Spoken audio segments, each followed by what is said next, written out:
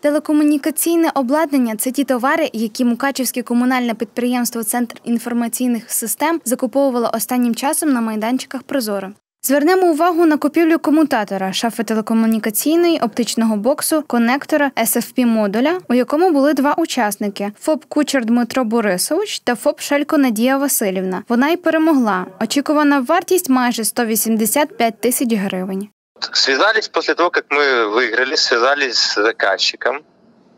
А, Заказчик э, нам озвучил такую информацию, что, ну, вы понимаете, оплата будет в лучшем случае в конце года. То есть, ну, как бы, вот почему-то сразу начали разговор не с того, что давайте подписывать договор и так далее, а с того, что у нас оплата будет с задержкой в конце года и тому подобное. То есть мы сказали, что окей, это не проблема, Дмитро каже, що усі умови були виконані, а замовник просто шукав причини, аби відхилити його пропозицію, яка б дозволила зекономити майже 20 тисяч гривень із бюджету Мукачева на закупівлі, адже пропозиція була вигіднішою.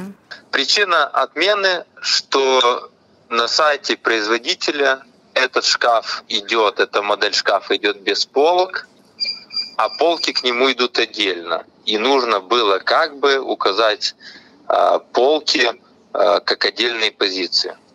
Хотя мы все условия документации выполнили, то есть мы указали шкаф, как просил заказчик, указали, что он будет укомплектован пол, необоснованно. Признали второго участника и быстро с ним подписали уже договор. Також у своєму зверненні Дмитро акцентує увагу на тому, що між керівником центру інформаційних систем та іншим учасником прослідковується дивний зв'язок і ймовірна попередня змова.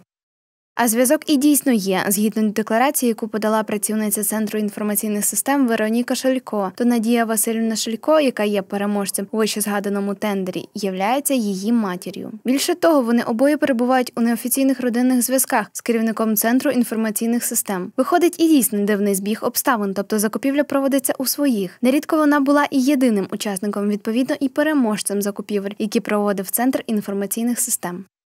Дуже шкода, якщо дійсно інформація якась підтвердиться, що е, е, чиновники, держслужбовці у ратуші на, е, на такій важливій програмі заробляють е, кошти. Це, це, це звичайно дуже прикро. Ну, Стоїть завдання максимально зекономити кошти громади, тому що е, ці кошти можуть бути направлені на якісь інші заходи. І, звичайно, якщо це мова йде про 10, навіть 10-20 тисяч гривень, це досить великі кошти, які можуть комусь допомогти. На наш інформаційний запит від керівника центру інформаційних систем надійшла наступна відповідь.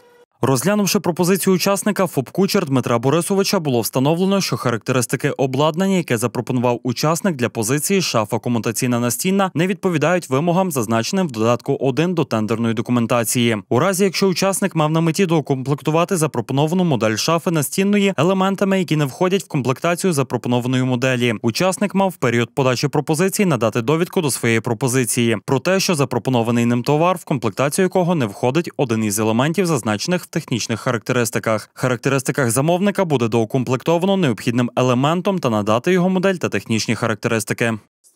Юристи кажуть, нерідко сторони закупівель вдаються до нечесних методів. Часті випадки, коли особливо це мається в менших містах, де е, уповноважена особа замовника може мати ті чи інші зв'язки родинні із е, покупцем.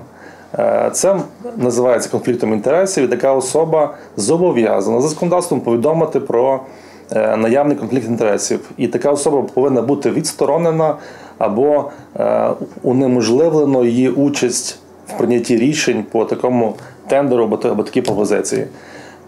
Досить часто такі, такі повідомлення відсутні, особи не визнають себе в певних родинних відносинах і мають можливість впливати на прийняття рішень. То чи дійсно чесно, прозоро і відкрито здійснюються закупівлі із бюджету Мукачева, питання залишається відкритим. Йдеться про кошти платників податків, непублічно йдеться і про ймовірне зловживання владою. Прослідковується питання корупційних інтересів. Неодноразово у мережах з'являється інформація і про систему відкатів. Аби довести ці схеми, є правоохоронні органи. Журналісти тим часом зобов'язані звертати увагу громадськості на факти, які є неоднозначними для суспільства.